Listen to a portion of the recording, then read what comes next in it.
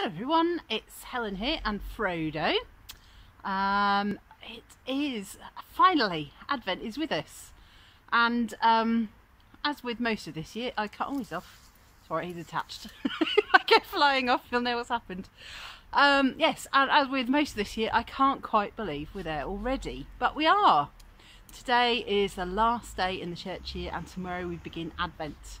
That time of getting ready, preparing ourselves it's not about the trappings of Christmas. And there has been a lot of talk this year, hasn't there, about Christmas is cancelled, Christmas is back on. And actually, I know what they mean, but uh, what lies at the heart of Christmas can never be cancelled. Um, it cannot never be de not delivered, as happened to dear old Margot in The Good Life. I don't know if you remember that one, when Christmas has to be cancelled because they don't send the right stuff.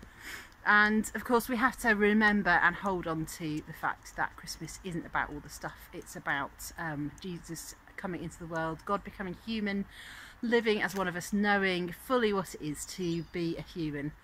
And so we can trust, can't we, in all this muddle and uh, weirdness that uh, God is with us in it and um, fully appreciates all our concerns and how painful it can be to let go of some of those things that we might have been looking forward to otherwise this year.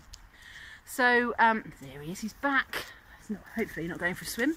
Um, but of course, um, it's really good for us to spend some time over Advent preparing for that mystery of Christmas because it's such a huge mystery. And there are all sorts of ways you can do that. Perhaps you have a regular pattern that you uh, do for your Advent devotions. Um, I often buy an Advent candle, which I find quite helpful to light every day. Uh, the challenge with that is to remember to blow it out before you accidentally do five days worth in one go. there are plenty of Advent books. Maybe you have some on your shelves that you might like to dust off.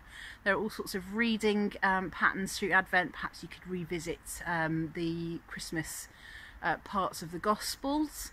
Um, over Advent and read and pray through those. There are all sorts of music you can listen to, lots of stuff on the TV and the radio. Um, on Harbour each Sunday evening, we're going to be thinking about a different um, character in the story of the Nativity or groups of characters. Um, and there's also um, an online advent calendar which has been produced by the diocese. So I'll put a link to that at the end of this video. And I am also involved in another project um, which is an online Jesse tree. Now if you were at St Mary's around about this time last year, we had a service all about the Jesse tree and we had a, a little Jesse tree in uh, the church uh, with all the different ancestors of Jesus, both physical and spiritual. So there are all sorts of ways you can um, enter into Advent and make the most of this wonderful time, the most wonderful time of the year as the song goes, um, as we prepare for the most wonderful mystery.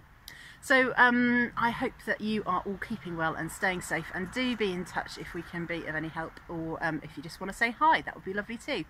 So um, hopefully I'll see you soon at some point. who knows where, who knows when. But till then, take care. God bless. Bye-bye.